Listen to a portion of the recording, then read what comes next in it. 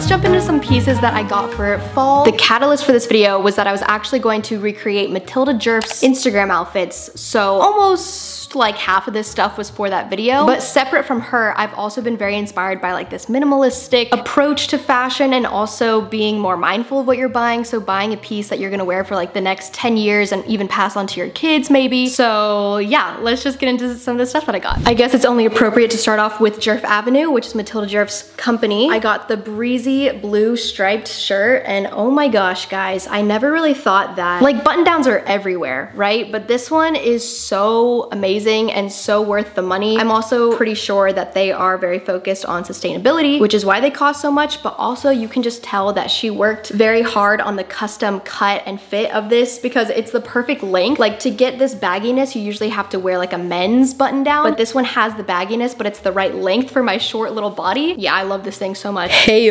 outfit number one. I was filming in this room where Ryan was filming, so there were like three people looking at me, so just enjoy incredibly awkward footage of my outfits. Awesome. Very interesting concept, the button down with a athletic skirt, but I kind of love it, and some sneakers. Obviously for a warmer state, like I live in Texas, so I'm sorry if my fall outfits are not fall appropriate for your area. But to spice that up, I switched over to a leather trench coat and these little Doc Martens booties. We've completely altered the look, and hopefully it's a little bit warmer for you guys who actually experience the fall weather. What is that like? I, I don't know. Let's not talk about the outfit I'm wearing to film this. I didn't think I'd show my lower half in this video, so I just Ignore that. Oh, also I dyed my hair brown for the fall season. I didn't mention it in my previous video because I posted so much about it on Instagram and TikTok that by the time I came back to the channel, I just thought like, oh, everyone's in the loop. So that's a plug, go follow me. I got these pants from Djerf Avenue as well, which is really interesting because I would never know how to style a pair of like businessy pants, but she wears these all the time in ways that I just adore. And I'm actually going to like a convention next week with a bunch of tech bros. So I'm going to definitely be pulling these out. And I just love the of them. I love baggy clothing and I love that this is just a staple that can go through any season and will last you many years as is the theme with all the pieces that I bought. Outfit number three, as you can see for all of these outfits I'm using pieces from this haul because the point is that I don't have to buy many things and I can wear them a bunch of different ways kind of like a capsule wardrobe so I'm still wearing that same blue button down with these pants that are way too big for me unfortunately and I really like the casual sneakers look with these dressed up business pants. So I got this leather jacket from Princess Polly. Why Princess Polly did I do this? I can't really tell you because you can find these in thrift stores. This one is not even like the most amazing leather jacket you could get. I mean, the quality seems pretty good to me, but I mostly got this from Princess Polly because I also wanted to order one of these skirts. This black pleated skirt and a white button down. I wanted to buy the white button down from Djerf Avenue because it definitely would be like a nicer cut and everything, but I was really trying to recreate a dark academia look. I'm going through a little bit of a dark academia hyperfixation. All the books that I read, I wanna watch Dead Poet Society. I wanna go to the United Kingdom, read in the rain and wear these outfits and pretend like I grew up in prep school. And I feel like it's only appropriate during fall. So that was the goal with this outfit. I love how you can wear the high boots with these skirts or you can do the socks and loafers. I know it's berries and creams vibes now because of TikTok, but we won't let them ruin our dark academia vibe, okay? Sorry, that was a little aggressive um, yeah, my dark academia dreams, like I just will not let them die. So along the same lines, I got this oversized, ooh, what do you call this? Oh, the words are slipping from my memory. Knit, perhaps? I don't know. It's a uh, cream vest all the words are slipping my brain for some reason. I got this from Abercrombie and Fitch. This is an extra small and it's nice and baggy, but I don't know if you guys saw the TikTok that was like, what Gen Zer went to Abercrombie and told them to just basically copy Aritzia because that is what their store looks like now. So I just got this singular piece from them because I was like looking up cream knitted vest and this seemed like the most reliable one. Next outfit is like that previous dark academia outfit in like a different font. We've got the blazer that is not leather, going with the dark Martys with this, trying to style this tweed purse and I love this cream knit vest. I feel like I could also wear these with the business pants, with overalls. It's just really versatile. Interestingly enough, this is a black skirt from Girlfriend Collective, which I believe is a sustainable athleisure brand. And I more so bought it for tennis, running, working out, stuff like that. And then on TikTok the other day, I saw a girl wearing her athletic tennis skirt with like the Nike swoosh and everything, but with a formal button down. And I really liked it. So I was like, you know what? This actually works for like the fall haul and wearing it with blazers and all that. Like from afar, it's just so nice and smooth that it works really nicely and it just comes in with built-in shorts. Big fan. My first item from Girlfriend Collective and it's very nice quality. I gotta talk about this. I guess it's about time I take off the tag because I definitely love this. So I bit the bullet and I spent um, money on, I spent money, but I, I spent money on a good quality blazer so that I won't have to buy another one for like ever, honestly, is the goal. So this one I got from Nordstrom. It's the brand Good American. I almost want to say that I bought this in the wrong size category. I'm not sure, but I really like the fit of it. Like I can wear it as a dress and it has the nice shoulder padding, but I feel like a blazer is just one of those staples in your closet and I'm really not down with like buying from places and then seeing rips in my clothing after the first time that I wash it. But yeah, I love the blazer look for the dark academia vibes, for the minimalistic vibes, for the business casual vibe. Just It just fits so many different categories and I love it with my whole heart. These next three items are actually rented items. So I don't own these and I started doing this from a website because I, like I said, I've been trying to be more intentional, thinking about what I'm buying, what I'm putting in my closet. And so I decided, well, if I wanted to like wear a really cool dress one time for an event or for Instagram or for content, whatever it is, I should just rent it. And apparently there are websites for that. Hoping one day they sponsor me, but for now, they're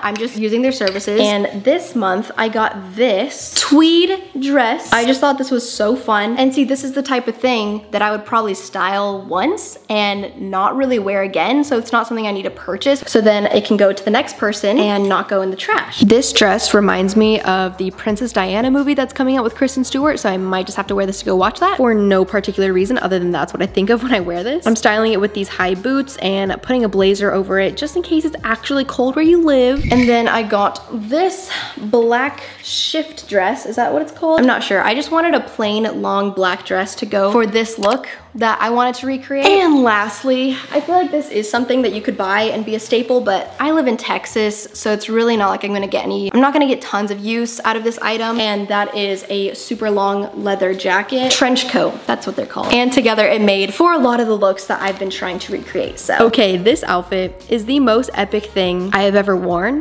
I feel super awesome when I wear it. I feel like the girl from Squid Game would wear this, number 67. Not sure why I feel that way, but this was my attempt at recreating that Pinterest look and boy oh boy do I love this outfit so freaking much.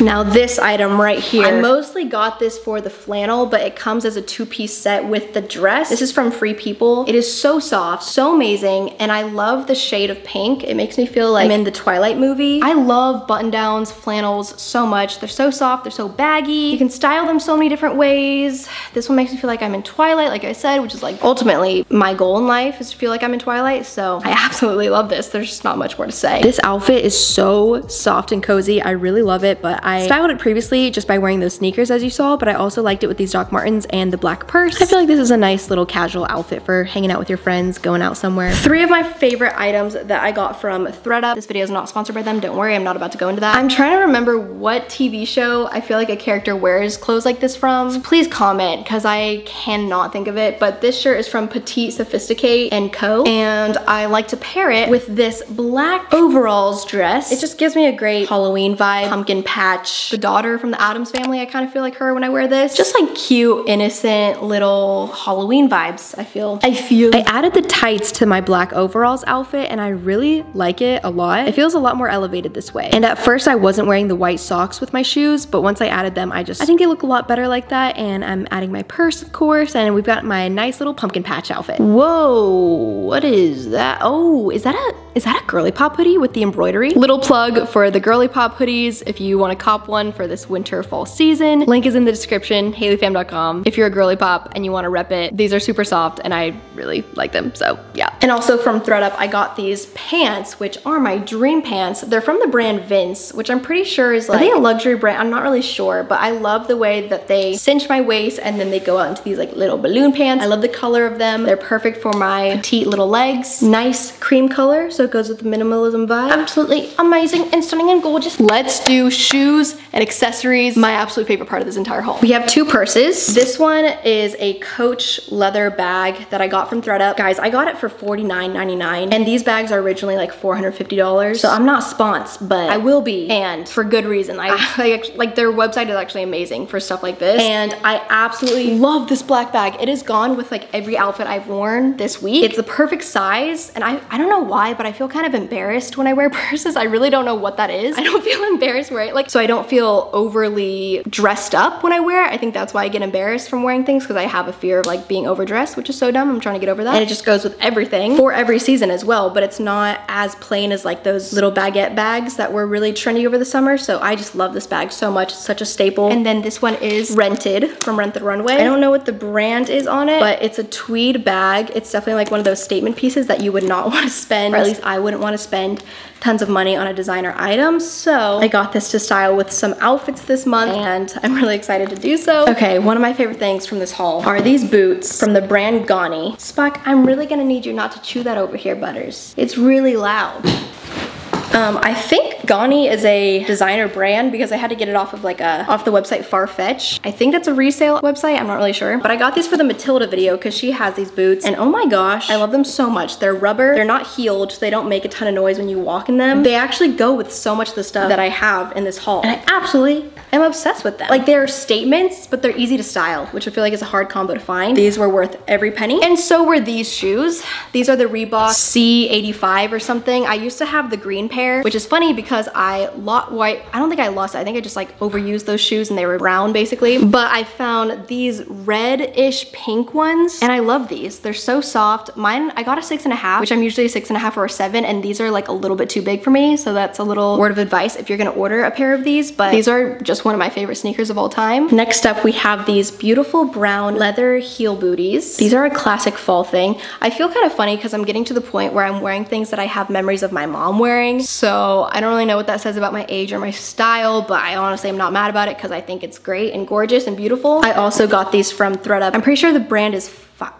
Frye. And then of course you need a pair of black shiny loafers for the dark academia feel. So I got the Aldo lightweight ones. And at first when these came in, I was like, okay, there's no way these fit me. Whatever material they are, they just need some time to stretch. So they actually do fit me now. Berries and cream, ruined loafers, but I won't I won't let them. Still gonna wear them anyway. For wearing the loafers, I got these socks that are like these, what is this called? They're like a tight material and then they got the black elastic at the top and I love these for the loafers because loafers with ankle action is like a little bit awkward in my opinion. So I either wear white socks or these. And then I also got a pair of black tights to wear under skirts with blazers, stuff like that. And lastly, kind of strange, but I got two pairs of sunglasses because the Matilda Djerf video. The first one, the brand fifth and ninth. I got these from Nordstrom and they're just like a classic pair of rectangular tortoise shell. They kind of flare upwards. I feel kind of really old wearing this outfit right now, but it matches my hair. Oh my gosh, I feel like these glasses look so much better with this hair. Okay, that's awesome. And then I got a pair of, this is my first pair of designer sunglasses. It's Christian Dior. I got this from The Real Real. And it's because I was trying to get as close as possible to what Matilda Djerf was wearing. Would you look at these bad boys? They're like some nice 90s ombre shield glasses or whatever they're called. And these are cool. Definitely a 90s feel. Kind of funky, kind of out of my comfort zone, but also feel super cool wearing them. I also kind of feel like a 30 year old mom in this shirt and these glasses. So we're not gonna style it like that. This is a pair of sunglasses for the book books. My first pair that I gotta keep good care of. And I think that about does it for my fall haul. I hope you guys like this haul. Took some inspo. I was gonna say got some vibe inspiration. I have no idea what that means. If you would also like some fall vibe book recommendations,